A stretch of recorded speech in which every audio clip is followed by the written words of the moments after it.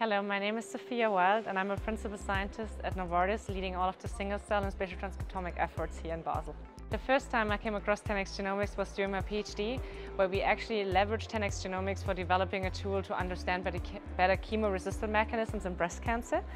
And now we're really leveraging as well again in target identification and better understanding diseases and then also like for finding new um, drug targets. We get this really amazing view onto things like with high resolution, which really allows us to dive deep into the data and really understand the differences between the different cells and therefore really um, get a deeper understanding and characterization of our various different diseases we are interested in and moreover we also can actually like really resolve complex processes in tissues which we before could not um, and now with spatial transcriptomics technology it's very exciting times that you can also now actually put everything into the native tissue context back and really understand now how processes are functioning on a biological level um, and how this is all organized in space. I love my job and I really love my team and also like the team which I got now with 10x Genomics.